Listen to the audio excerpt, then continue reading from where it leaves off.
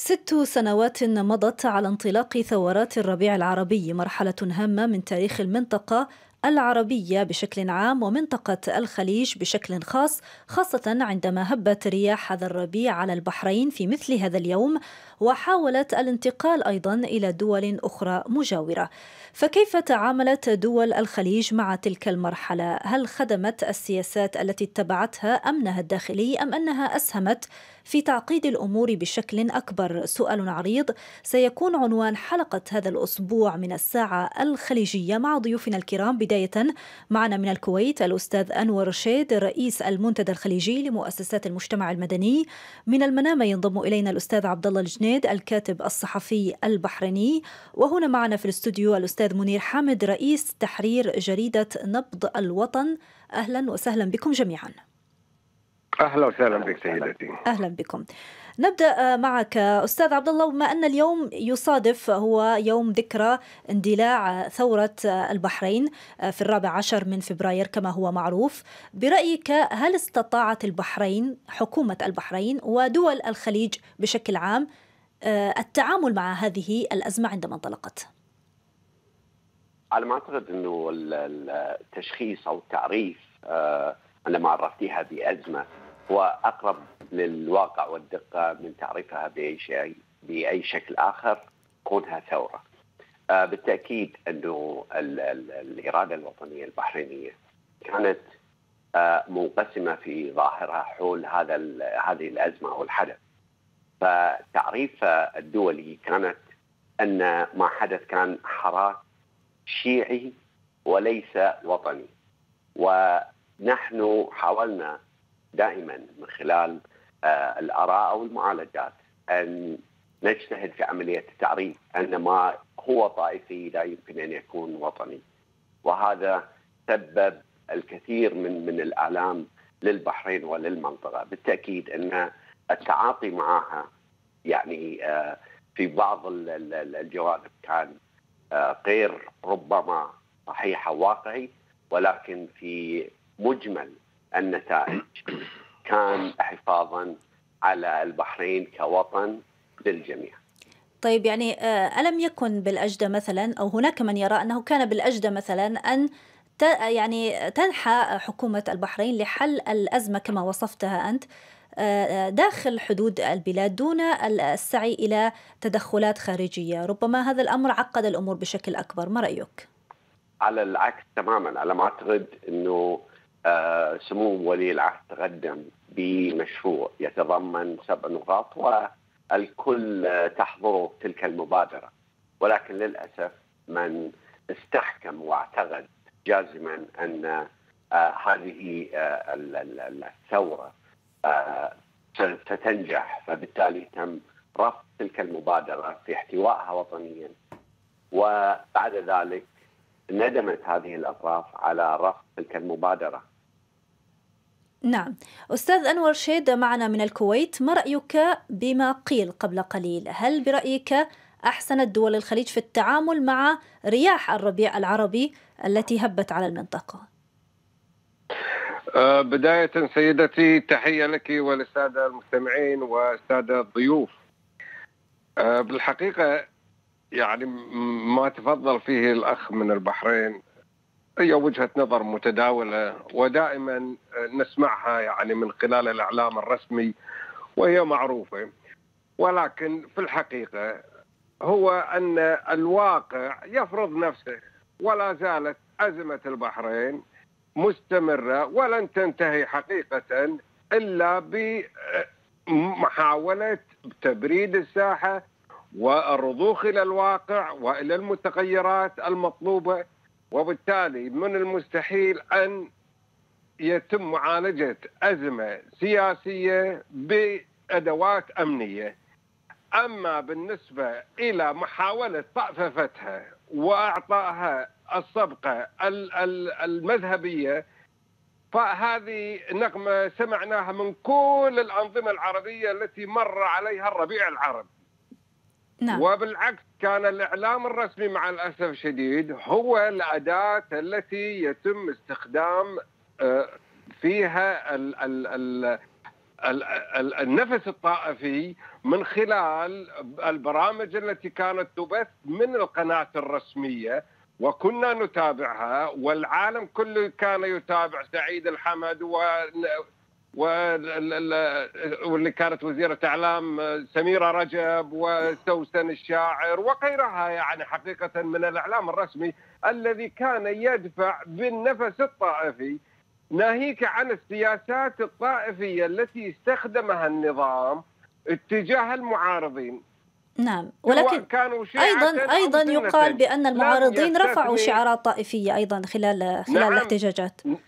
نعم نعم صحيح. هناك من رفع الشعارات الطائفية وهذا مرفوض ومدان وكانوا وكانوا أداة لأجهزة مخابرات سواء محلية أو خليجية أو إيرانية. نعم. نحن نعترف أنا شخصيا أعترف بذلك. هناك من رفع هذه الشعارات وهذا وهذه كان القصد منها محاولة إجهاض المطالب الشرعية والحقيقية للشعب الذي كان يطالب بانتخابات برلمانية وبيطالب هذه النقاط الستة التي وردت في وثيقة المنامة وإلى آخره. إن كان هناك من لا يريد تطبيق هذه المطالب المشروعة والمستحقة والتي من حق أي شعب مش بس الشعب البحريني كل الشعوب العربية التي مرت على مر عليها الربيع العربي كانت تطالب بالكرامة والعدالة والمساواة والحرية وانتخابات برلمانية حرة نزيهة وباكثريه برلمانية تشكل الحكومات. هذه المطالب الشرعية التي لا يتمتع بها أي مواطن عربي ناهيك عن البحريني ناهيك عن الكويتي ناهيك عن المغربي ناهيك عن التونسي كلنا. نعم. حقيقة دولنا العربية تعاني من أزمات متتالية نتيجة للأنظمة العربية التي هي بذاتها أنظمة مستبدة لا تريد أن تتطور مع الواقع أستاذ. ولا تريد أن تتطور مع حقوق المشروع على المواطنين. نعم أستاذ العزيز سنتطرق أكثر لهذا الموضوع بعد قليل ولكن معنا في الاستوديو أيضا الأستاذ منير حامد رئيس تحرير جريدة نبض الوطن. أستاذ منير يعني سؤالي لك باختصار. يقال بأن دول الخليج بشكل عام لم تستنفر أو لم تشعر بالخطر تجاه آه، الربيع العربي رياح الربيع العربي إلا ما عندما هبت عندما هبت هذه الرياح على مصر آه، في 25 يناير ما رأيك بهذا الكلام؟ هو الحقيقة دور مصر دور مصر كدولة آه، كبيرة جدا في المنطقة العربية وكان يعتمد عليها الخليج العربي في بعض الأمور في حرب الخليج الأولى وبعض الأمور حتى الآن في حرب اليمن. فكان دائما الخليج يلعب آه، للجيش المصري على إنه يعني مجموعة من المرتزقة. نعم. هؤلاء يدفعون لهم الأموال لكي يدافعون عن الخليج. دور الخليج في وأد الثورات العربية كان آه، الحقيقة دور سيء جدا آه، يعني أنا أنظر إلى مصر الآن وكيف وصل بها الحال إلى دولة عندها مقدرات دولة عظيمة جدا ولكن يعني دائما دول الخليج تنظر إلى العسكري الذي يحكم وليس المدني الذي يحكم. آه، الثورة قامت ل يعني تغيير النظام العسكري والإتيان برئيس مدني منتخب.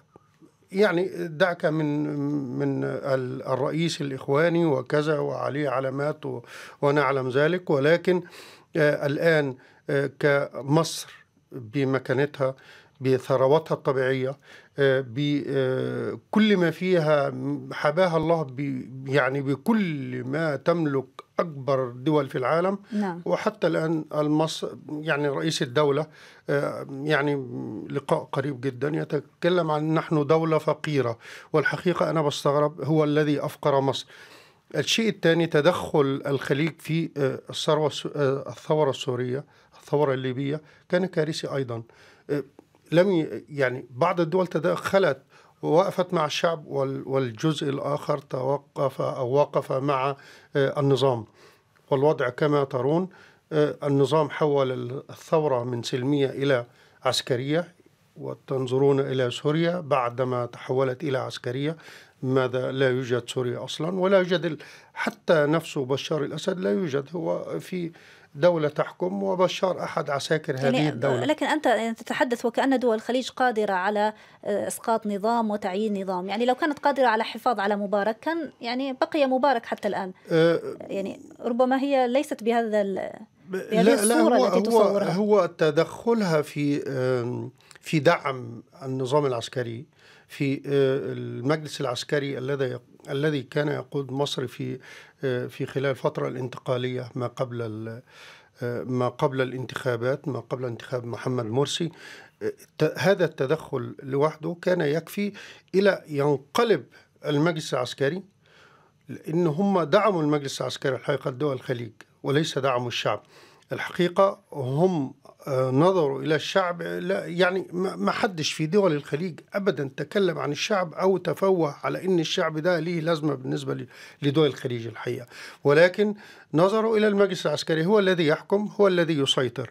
فعشان كده دعموا دول الخليج يعني 54 مليار دولار دعموا المجلس العسكري المجلس العسكري الحاكم في مصر حتى الآن. نعم. حتى الآن. جاءت رئاسة مدنية كما نقول له أربع سنوات كان المفروض أنه يخوض الأربع سنوات ثم ينتهي العهد به تقوم انتخابات أخرى ولكن يعني الموضوع انقلب وال يعني الضوء الأخضر من الخليج أو الخليج هي التي دعمت بأنه انقلب ونحن معك. وفعلا ده اللي حصل من عبد الفتاح السيسي في 2013 والآن هو يحكم آه، يعني الحقيقة أنا أنا بستغرب راجل بقاله سنتين والدولة بتموت بترجع لورا ما أعرفش عمرها ما وصلت إلى نعم. هذا الحد من ال يعني في عصر مبارك نفسه اللي كنا بنقول سلطوي وكان فاسد وكان نظام يعني آه، مش عارف الواحد يقول عليه أكتر من إنه يعني فاسد وصل الحد إلى إن الدولار مثلا كان 6 جنيه ونص. الآن الدولار ب 20 جنيه. نعم لحظات هذا- فقط لحظات فقط ونعود إليكم. ساعة خليجية. مسقط 92.2 اف ام نعود إليكم ونعود إليك أستاذ عبد الله. ما رأيك بما قيل فيما يتعلق بدور دول الخليج في إجهاض ما بات يعرف بثورات الربيع العربي؟ هل تتفق مع هذا الكلام؟ هو للاسف الخليج العربي دائما هو ال- ال- الملام والمذموم مهما بذل من جهد في الوقوف مع آه، استقرار الدول. وأنا يعني آه، يؤسفني فيما قال الأستاذ آه، منير حامد عندما وصف الجيش المصري بمؤسسة مرتزقة وهذا يعني معيب في حق لا لا لا سيدي أنا لم اتكلم أنا معلش، لم نعم معلش. سوف. يكمل و... نعم. تفضل تفضل. إيه، أنا كل اللي أقول أنا أتمنى لو يتفضل الأستاذ منير في آه، إصدار بحث موثق مؤكد لوجود قوات مصرية في البحرين أو أي دولة من دول الخليج. هذه جانب وما مش عاوز أرجع له. إنما بالنسبة للأستاذ أنور رشيد أنا بس وأنت مدافع عن آه، مبادئ المدنية. أنا أسألك وبكل شفافية أنا بالنسبة لي ملتزم بحق بنتي مثل أولادي مثل كل أولاد البحرين. ولم أنظر ولا أسمح لنفسي يعني بالخروج عن التجرد والموضوعية في رؤية إنسان كونه سني أو شيعي. فأنا بالنسبة لي أنا أدافع عن حق بنتي فأنا أسألك هل تقبل أن تعيش بنتك في إيران تحت ذلك النظام؟ نعم. هل هذا سؤال؟ هل... نعم تفضل. نعم نعم أنا أتمنى لأنه كان المشروع هو تحويل وإذا أراد إثباتات أتمنى أن يرجع إلى كل مواقف جمعية الوفاق وموقفها من قانون الأسرة وهو قانون في حدودها الضيقة كان يدافع عن حقوق المرأة المدنية وكنا نتمنى ولا زلنا نتمنى إلى اليوم أن يكون هذا القانون متجاوزا لكل الطوائف وأن يشرع في قانون متجاوزا حتى البرلمان ومجلس الشورى وأن يكون قانون واحد لأسرة بحرينية واحدة. فهل يتكرم بالإجابة؟ نعم تفضل أستاذ أنور الكرة في ملعبك آه، شكرا سيدتي وشكرا للأخ من البحرين آه، عبد الله- قبل الإجابة على. على الأخ عبد الله أهلا وسهلا أخي عبد الله قبل الإجابة على سؤالك أريد أن بس أعقب على لا لا أنا اتمنى أتمنى. تجيبني أستاذ أنور نعم أتمنى تجيبني راح أجيبك أولاً أنا، راح نعم أجيبك. راح- أجيبك، أجيبك، أستاذ بس عبد الله فرصة عبد الله أجيبك. اتركوا فرصة فرصة ليتحدث وسيجيب فرصة خليني نعم. أجيبك يعني لا تضيع وقت البرنامج دون ب- ب- ب- بألفاظ. تفضل أستاذ أنور اريد تفضل أريد أن أعلق بس على ما تفضل به الأخ من مصر ما قاله الأخ من مصر هذه حقيقة نكرانها لا يعني عدم وجودها وأنا أتكلم للتاريخ وأقول بأن أنا كنت رئيس المجموعة العربية لمراقبة الانتخابات في في الانتخابات الرئاسية ما بين مرسي وشفيق بال- بالانتخابات الإعادة نعم وراقبت الانتخابات البرلمانية والرئاسيه الأولى والرئاسية الإعادة. أه، واتفقنا أخيرا مع مؤسسه كارتر كانت موجودة أيضا لمراقبة الانتخابات. برئاسة ال ال ال كانت وقتها في رئاسة عبد الكريم المرحوم الدكتور عبد الكريم العرياني رئيس وزراء اليمن السابق والدكتور مروان المعشر وزير خارجية هذا وهو حي يرزق. وجامعة الدول العربية مندوبه عن جامعة الدول العربية ورئيس وزراء موريشيوس السابق كان وقتها رئيس المعهد الأفريقي للديمقراطية. اجتمعنا في أحد الفنادق واتفقنا على على أن الانتخابات سليمة لا ينقصها أي شيء وأصدرنا بيانات بذلك. نعم. ما حصل بعد ذلك نتيجة لرهبة الخليج من هذه الديمقراطية التي وصلت إلى مصر لم تتحمل دول الخليج الاستمرار بذلك وأنا أتهم أيضا بهذا المقام أتهم الأخوان المسلمين بقيادة مرسي بأنهم هم من ساعدوا على إجهاض الربيع العربي بسياساتهم المتخلفة التي أتاحت للجميع بأن يجهضوا الثورة أو الديمقراطية في المنطقة العربية. هذا بالنسبة للأخ آه، من مصر. أما سيدي آه، عبد الله بالنسبة للعيش في في في إيران طبعا ما لا, لا يست- يحبذ أن يعيش تحت نظام مثل هذا النظام الدكتاتوري الثيروقراطي آه، المتخلف يعني. لا يمكن بأي حال من الأحوال أن يتم مقارنة مقارنة السيء بالأسوأ يا سيدي. قل لا, لا أتمنى أن تعيش يعيش ابنائي في في السويد وفي النرويج. أما تطالبني بأن بأن أجيبك على سؤال هذا أتمنى بأن بنتي أو أنا أعيش تحت نظام بيروقراطي متخلف استبدادي؟ بالتأكيد لا راح أقول لك يعني. نعم. أما ما تفضلت فيه أيضا عن طريق مواقف الوفاق وهذا أيضا من بالنسبة لي أنا الوفاق بالنهاية نظام أو ذات مرجعية دينية يعني لن تؤدي إلا المزيد من الأزمات للبحرين يعني. ولا ولا ولا وليس أنا سعيد بذلك حقيقة يعني. أنا أتكلم لا أتكلم على صنف واحد من من من من أطياف الشعب البحريني. أنا أتكلم على على الشعب البحريني كله بشكل بشكل مجمل حقيقة. نعم. أنا أتكلم من الناحيه السياسيه وليس من الناحيه العاطفية الدينية التي أختلف معها جملة وتفصيلا ولا أحبذها ان أن تكون أو تعبر عن عن عن حالة من حالات الشعب البحريني، من يقول أنا راضي عن ما يحصل في البحرين من توجه طائفي سواء من افراد أو من النظام. كل هذا قاعد يأثر علينا ويأثر على المنطقة ويزيد المنطقة تهزيما ويزيد المنطقة احتقانا، وهذا لا يسعد حد أي حد حقيقة يعني. يجب علينا ان ان ان, أن نحاول نبرد هذه الساحة، نحاول أن آه، آه، نعطي أستاذ أنور. بعد نعم.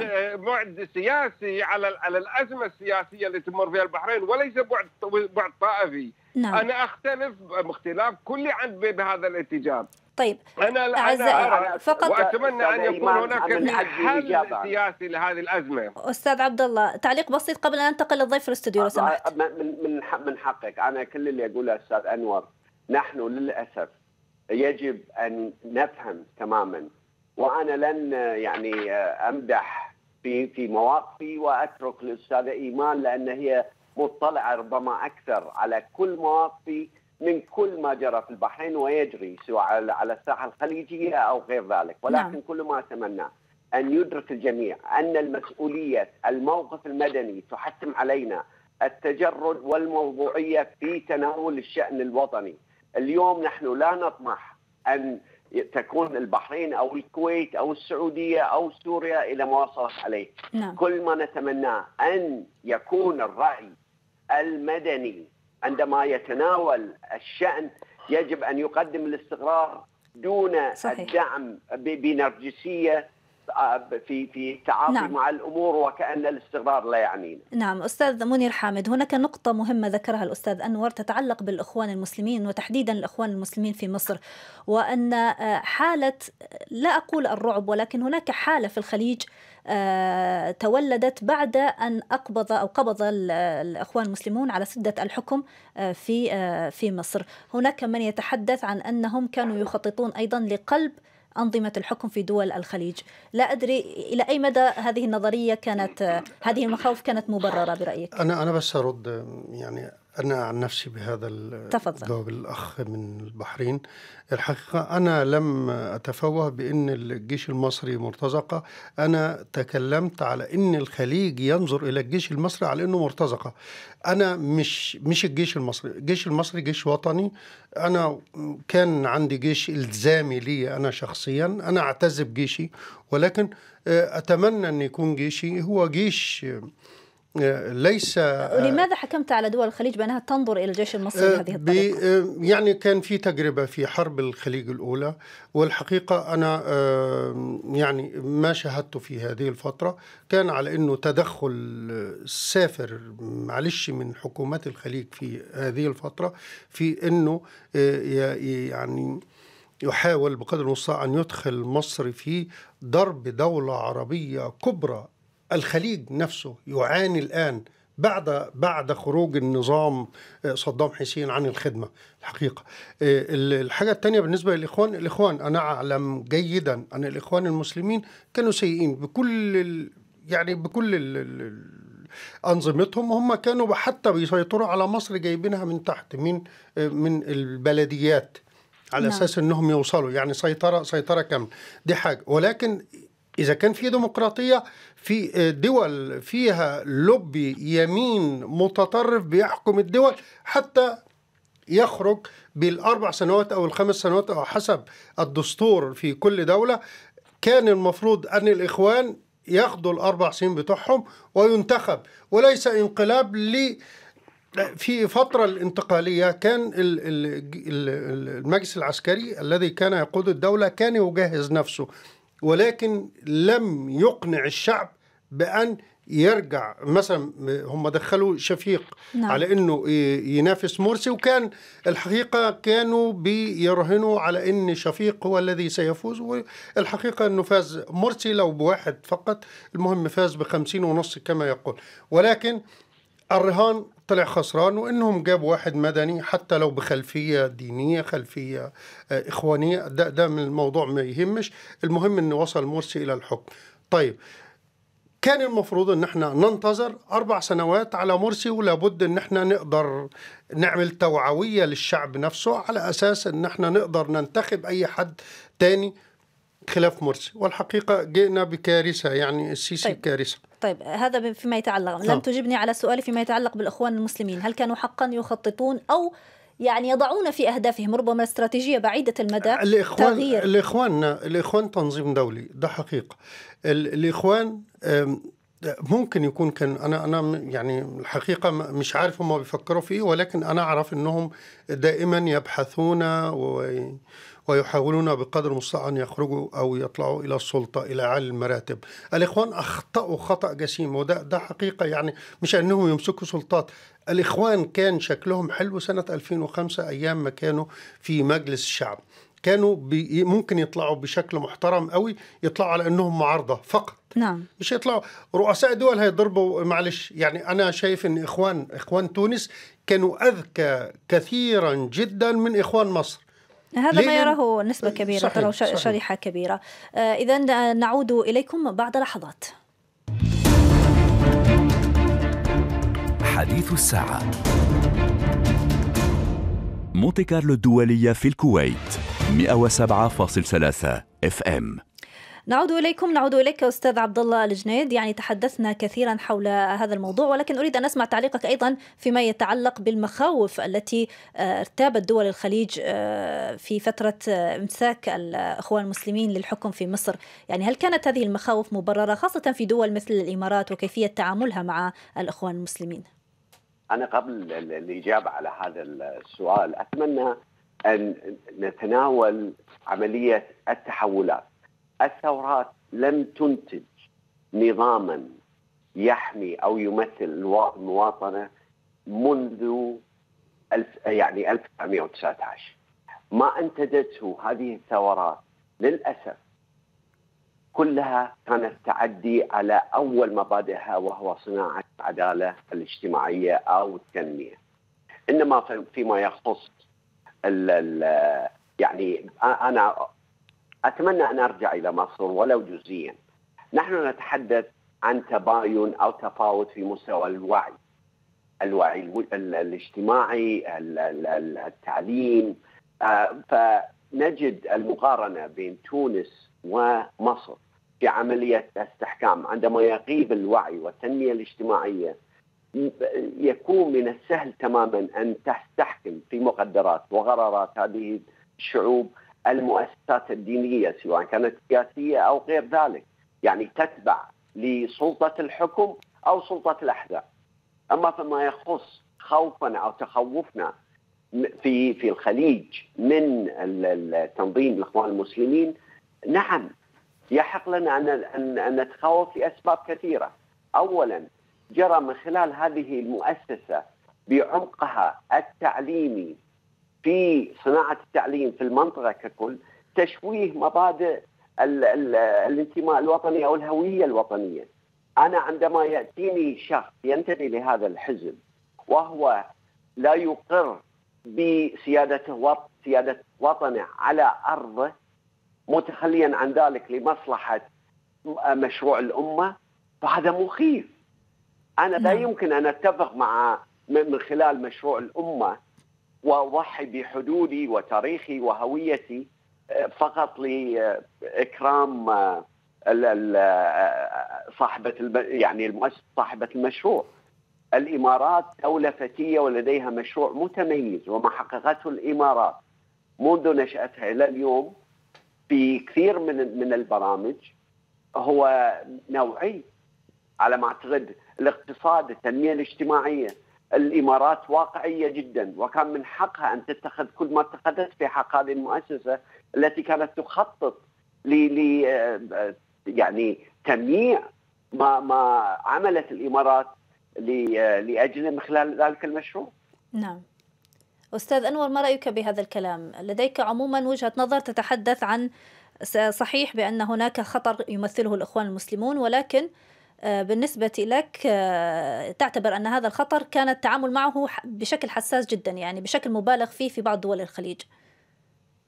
نعم يا سيدتي وأنا بحكم ليبراليتي وأنا أدعو يعني آه، من شأن الحركة الليبرالية الكويتية وأنا ليبرالي بقناعاتي وقيمي يعني لا أتفق حقيقة يعني التعامل مع الإخوان المسلمين بهذه الطريقة لا لا لا يبشر بخير حقيقة. وأنا وأنا على قناعة تامة بأن التعامل الأمني مع قضايا سياسية لن يؤدي إلى نتيجة بأي حال من الأحوال رغم أني أنا ليس من الإخوان وأعارض الإخوان وأعارض كل التيارات السياسية الدينية سواء إخوان سواء سلف أو سواء حتى آه، آه، الجمهورية الإسلامية الإيرانية. يعني كل البيروقراطية أو الفكر الديني أنا أتعارض معه يجب أن يكون في المسجد ولا يجب أن يخرج إلى الساحة السياسية. ولكن التعامل مع الإخوان المسلمين بهذه الطريقة الذين كانوا هم حلفاء الأنظمة المستبدة بالمنطقة كلها وكلنا نذكر ونعرف وقرأنا التاريخ عندما حاولوا ضرب مصر في الخمسينات وضربهم جمال عبد الناصر من احتضنهم لنكن واقعيين؟ ومن استقبلهم في دولنا الخليجية؟ ومن فتح لهم وزارات التربية والأوقاف والمناهج التعليمية اللي تكلم عنها الأستاذ عبد الله الجنيد؟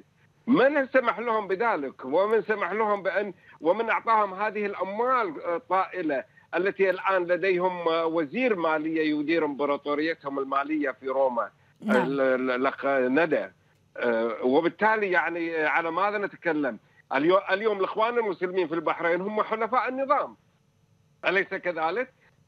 ألم ي... الم ألم تنشئ الجمعية الإصلاح المعتقدين الآن في.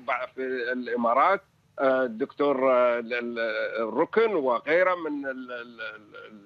الإخوان في في هذا ألم تنشئ جمعية الإصلاح في في مطلع السبعينات من القرن الماضي وأعطاهم الدور كامل وعندما ارتفع صوتهم مع الربيع العربي تم ضربهم ضربة قاصمة. ألم يكن الإخوان المسلمين في الكويت حلفاء النظام أيضا؟ ألم يكن بالسعودية أيضا؟ إلا صحيح. أن لما بدأ الربيع العربي و... و... ورأوا بأن هناك فرصة ليصلوا إلى السلطة استنفرت المنطقة العربية والخليجية تحديدا يعني. وتم ضربهم يعني ضربة قاضية وتم اعتبارهم منظمات إرهابية أليس كذلك؟ أما بالنسبة للبرغماتية التي يتمتع بها الإخوان المسلمين في في تونس عندما عندما يعني اكتشفوا أو رأوا بأن لا يمكن بأي حال من الأحوال تحقيق ذلك الحلم الإمبراطوري أو عودة الخلافة عندما وصلوا إلى السلطة وعندما شعروا بأن ما حصل في مصر قد يحصل لهم ويكون كارثي بالنسبة لهم لذلك تنازلوا عن السلطة وبدأوا يدخلوا مع مع مع الآخرين باللعبة السياسية. هذا ما نريده. لا يجب أن نقصي أحد، أنا ضد إقصاء الإخوان المسلمين رغم ليبراليتي وضد إقصاء أي هذا، لكن بنفس الوقت يجب على الإخوان المسلمين أن يقتنعوا ويعملوا سياسيا وليس دينيا. ويبعدوا عن إدخال الدين بالسياسة، استخدام الدين بالسياسة أدى إلى كوارث.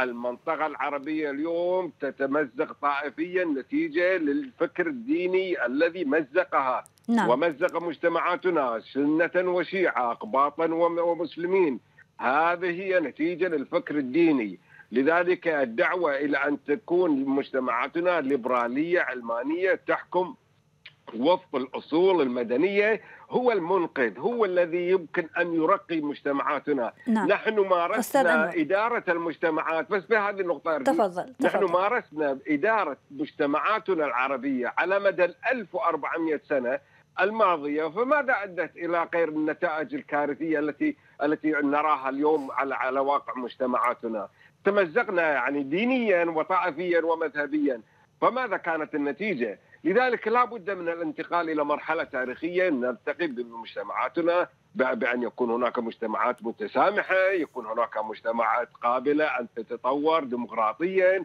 هناك من يقول مجتمعاتنا ليست مستعدة للديمقراطية، أقول نعم ليست مستعدة، فلتتفضل الأنظمة الحاكمة الآن كلها من المنامه حتى نواكشوط ومن عين العرب كوباني حتى حتى عدن. فلتتفضل الأنظمة الحاكمة بأن تهيئ الشعوب ونحن أنا راضي تكون بعد 10 بعد 20 بعد جيل بعد جيلين أن تكون أن تكون هناك أستاذ آه يعني مجتمعين أو نعم. قادرين على إدارة نفسهم ديمقراطيا لكن المسألة الرئيسية والحقيقية أن مجتمعاتنا تديرها أنظمة استبدادية لا تريد أن تتطور. ولا نعم. تريد أن تطور مجتمعاتها ولا ولكن ولا أستاذ أنور أنت هنا يعني بالقرار. نعم انت أنت تصف كل الأنظمة بتعمم عليها صفة الاستبدادية وتطالب بتغييرها في حين أنه بالإمكان أن يكون هناك نوع من الاحتواء يعني أن يكون هناك نوع من المشاركة السياسية.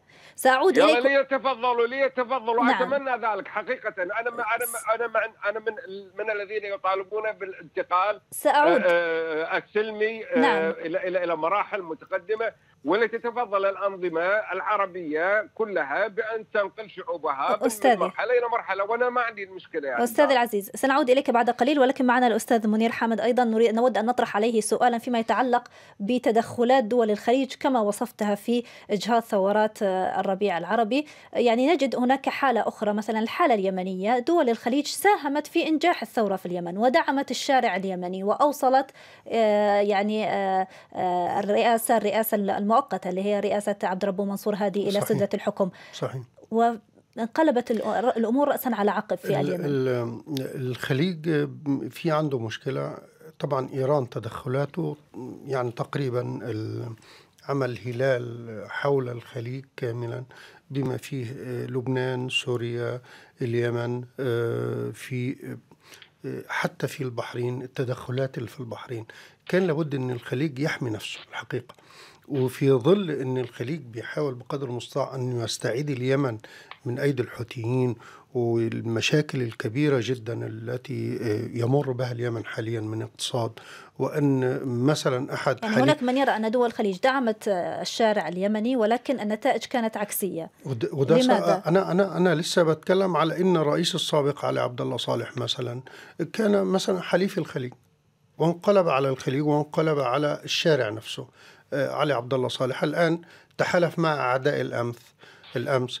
والآن اصبح أصبح الاثنين طبعا آه، جهة واحدة أو وجهة واحدة ضد آه، الخليج وضد آه، الشعب ال- اليمني.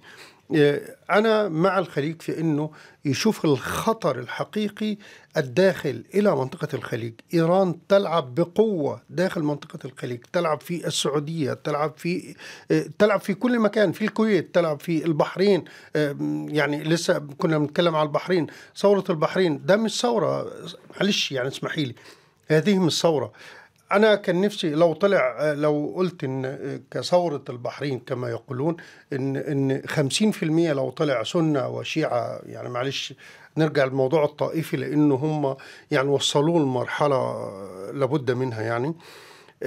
النهارده لو لو في طلع سنة حتى 2 5 10 20 ألف واحد مع الوفاق الخليجي البحرينية أنا كنت ممكن أقول ثوره لا هناك هناك معارضة بحرينية سنية بس ولا ولكن لم تخرج في في في مع الوفاق ومع ومع معلش مع الدمار اللي حصل بالفعل في داخل اليمن. سميرة وزيرة الإعلام وزيرة الإعلام البحرينية هي شيعية أصلا.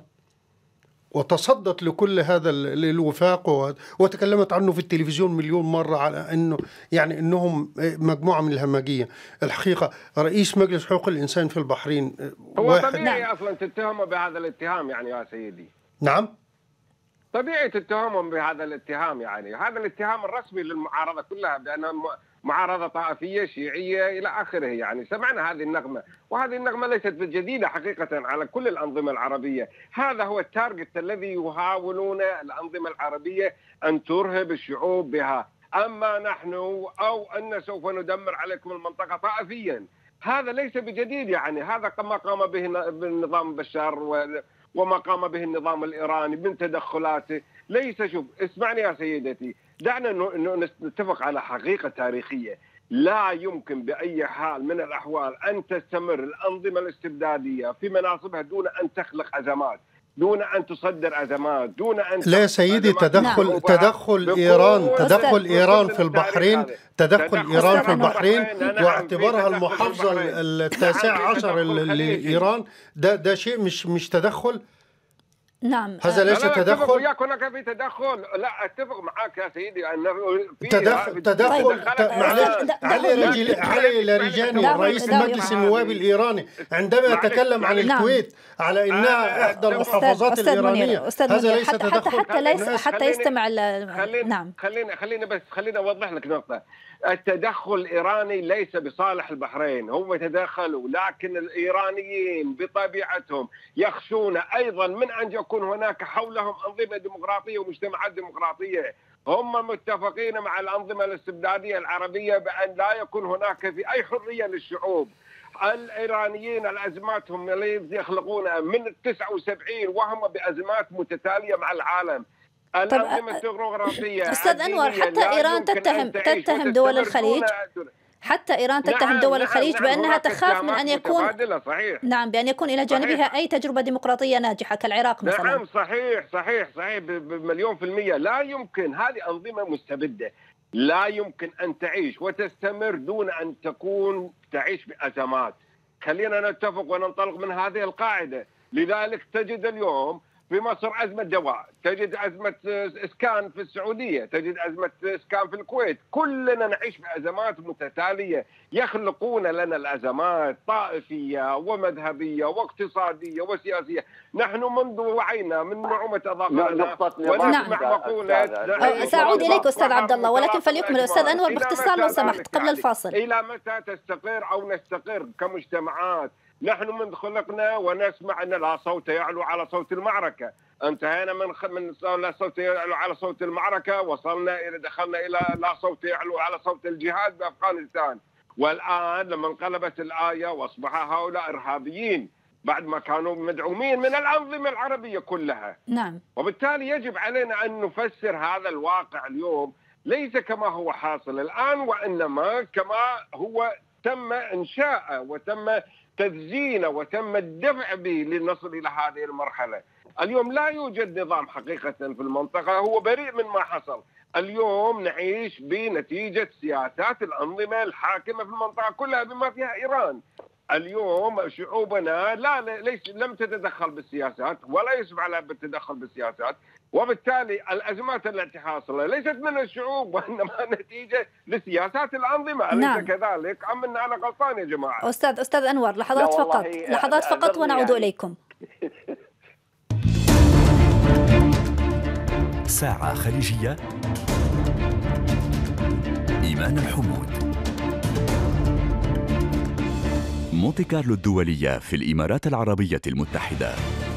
95.3 اف ام أستاذ عبد الله الجنيد نعود إليك مرة أخرى. أكيد لديك تعقيب على ما قيل ولكن أريد أن أطرح عليك سؤالا أيضا حول. مسألة اختلاف أهداف دول الخليج وسياساتها آه، في العديد من الدول في العديد في التعامل مع العديد من الأزمات. هل ساهمت فعلا في تعقيد الأمور أكثر في في العديد من الدول العربية؟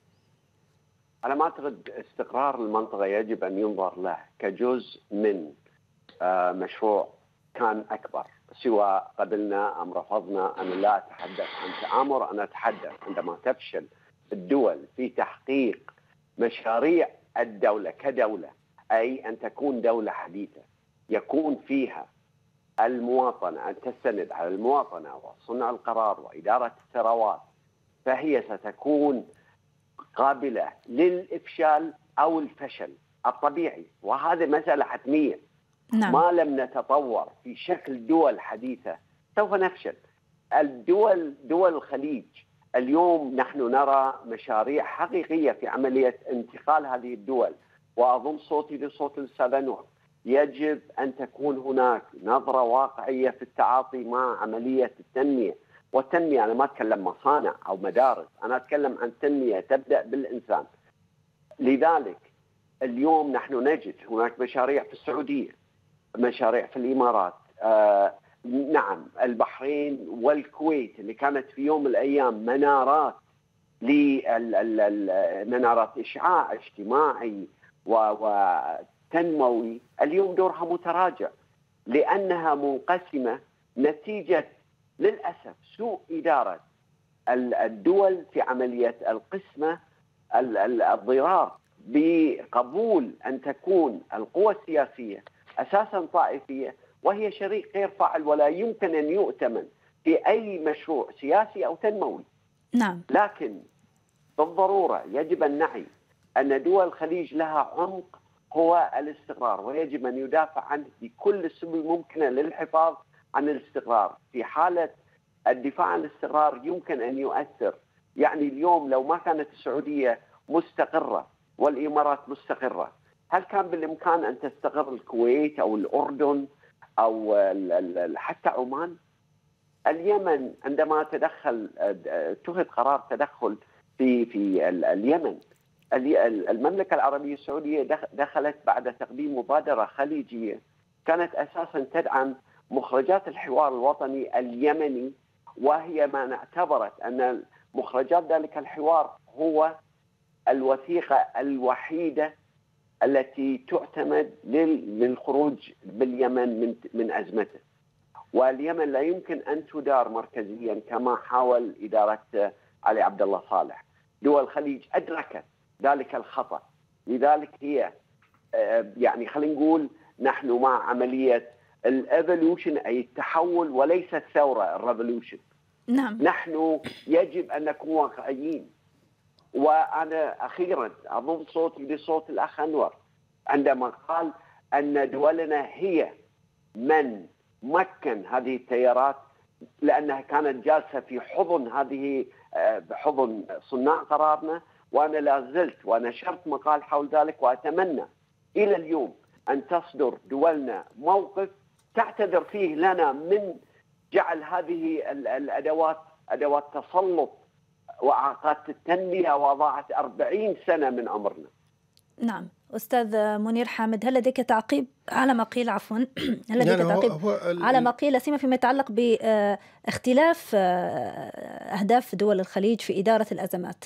وده ده يعني أنا فعلا الأستاذ عبد الله عنده حق في موضوع إن لابد تنمية الإنسان وليست تنميه آم، تنمية مصانع وشركات وكذا.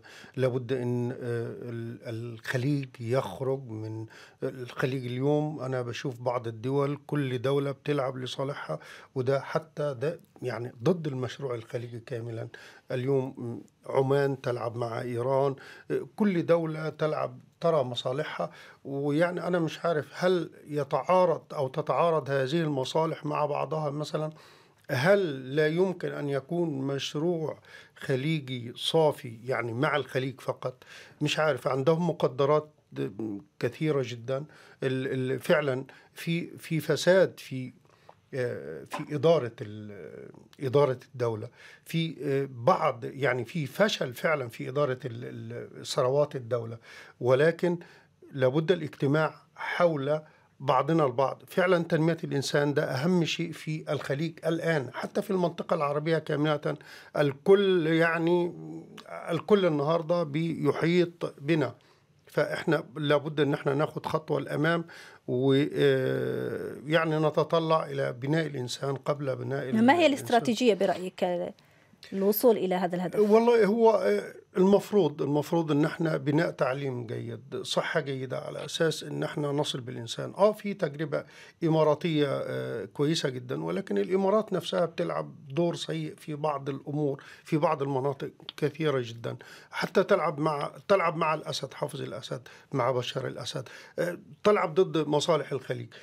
في يعني أنا عشان أعمل انسان لازم يكون في تعليم لازم يكون عندي سياسات آه، آه، عالمية تحترم لازم يكون في مقاييس آه، في كل شيء في التعليم في الإعلام لازم يكون في يعني عندنا مثلا في مصر جزء كبير جدا من المشكلة إن ما عندناش ميثاق ميثاق شرف إعلامي في الإعلام المصري وده كانت كارثة حتى على الإنسان نعم. إنه يعني بيحاولوا بقدر المستطاع إنه يخلوا الإنسان متخبط من نفسه. نعم. أستاذ أنور تعقيبك على هذا المحور بالذات فيما يتعلق بالاختلاف اختلاف أهداف دول الخليج وبالتالي هي من ساهمت في تعقيد الأمور ليس في دول الخليج فقط ولكن في دول عربية أخرى.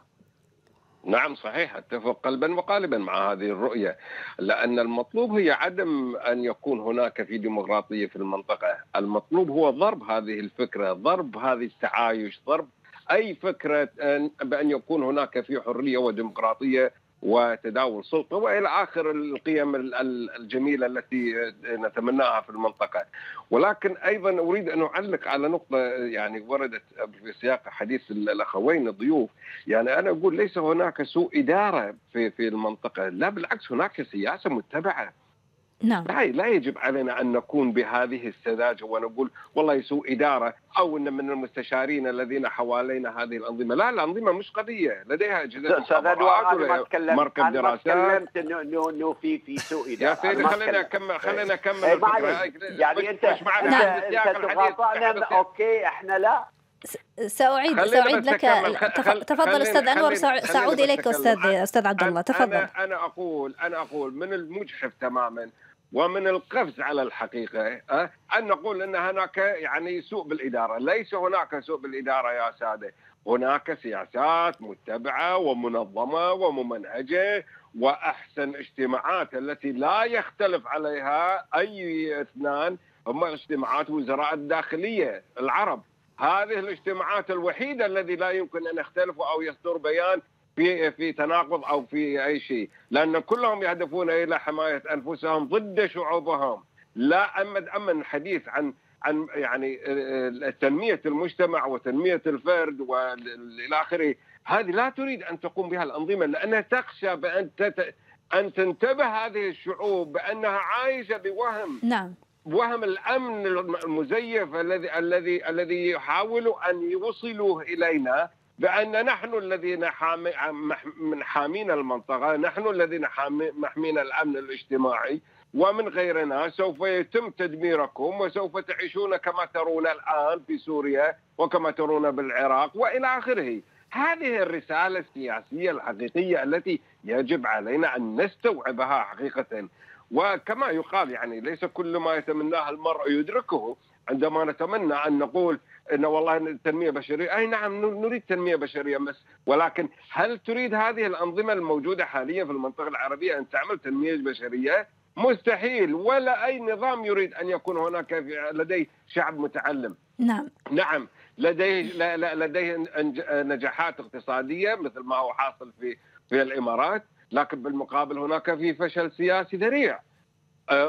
في نجاحات آه، يعني ديمقراطية نوعا ما يعني بسبيل ذر الرماد في العيون آه، مثل الكويت. نعم صحيح. ولكن أيضا ليست كافية لتنمية المجتمع.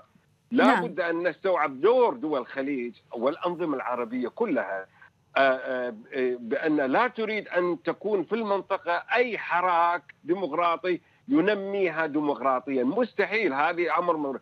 النظام الوحيد حقيقة يعني والذي يشهد له التاريخ هو نظام المغرب الذي استطاع أن يتواكب من من منذ بداية ال2000 آه، استطاع أن يتواكب مع التغيرات ان يتمازج نعم. حصلت في في في الدول العالم كلها. اليوم لو نظرت إلى الخارطة العربية حقيقة سوف تجدين كوريا الشمالية ودولنا الدول العربية بس هي التي تتمتع بالأنظمة يعني آه، تتوصل يعني ماسكه كل شيء يعني أستاذ كل أنور كل السلطات بيدها بقي فقط هذه الحقيقة. نعم. بقي فقط دقائق فلنعطي الفرصة قليلا لضيفينا. بداية نبدأ معك نعم. أستاذ عبد الله كلمة أخيرة لو سمحت قبل ختام البرنامج. والله أنا يعني كل اللي أتمناه دائما وابدا ان أن آه، تتكرم علينا الانتليجنسيا العربية. من أمثال الأستاذ أنور أن ترجع إلى إلى الواقع ولا أن تتعاطى مع كل من يخالفها بهذه النرجسية الغريبة. نحن نعيش واقع يخلق تحديات والتحديات تلزمنا أن نكون واقعيين في عملية البناء على الممكن. أنا كل ما أتمناه وهذا اللي أتمناه إلى آخر يوم اكون موجود فيه على هذه الأرض أن أسهم في عملية وعي الإنسان، الإنسان الواعي هو الأقدر على تمثيل مصالحه وليس العكس. نعم. آه، أستاذ منير حامد معنا في الاستوديو. يعني كلمة أخيرة قبل نهاية البرنامج وفي غضون يعني دقيقة هو هو, هو الأستاذ عبد الله تقريبا عنده الأستاذ الأستاذ أنور عنده حق في موضوع. يعني هو مستحيل إنه ينمي الإنسان لأنه مش عاوز دولة ديمقراطية حقيقية. أنا اتكلمت على فشل إدارة الثروة. نعم. الثروة. كما مثلا في السعودية كما في الكويت كما دول فيها ثروة كبيرة جدا من البترول النفط راح. وكانت هناك أموال. كان لابد أن يكون هناك صناعات بديلة. ليس البترول الاعتماد على النفط فقط. لابد أن تنوع تنوع مصادر دخل الدولة. نعم إذا بهذا نأتي إلى ختام حلقة الساعة الخليجية لهذا الأسبوع. نتوجه بالشكر الجزيل بداية للأستاذ أنور رشيد رئيس المنتدى الخليجي لمؤسسات المجتمع المدني. من المنامة كان معنا الأستاذ عبد الله الجنيد الكاتب الصحفي البحريني. وكان معنا هنا في الاستوديو الأستاذ منير حامد رئيس تحرير جريدة نبض الوطن. شكرا جزيلا لكم على وجودكم معنا في مونتي كارلو وفي الساعة الخليجية. شكرا. حياك الله. شكرا لكم وأعزائي المستمعين. إذا نأتي إلى ختام هذه الحلقة. على أمل اللقاء بكم الأسبوع المقبل. كانت معكم إيمان الحمود وإلى اللقاء. ساعة خليجية. إيمان الحمود.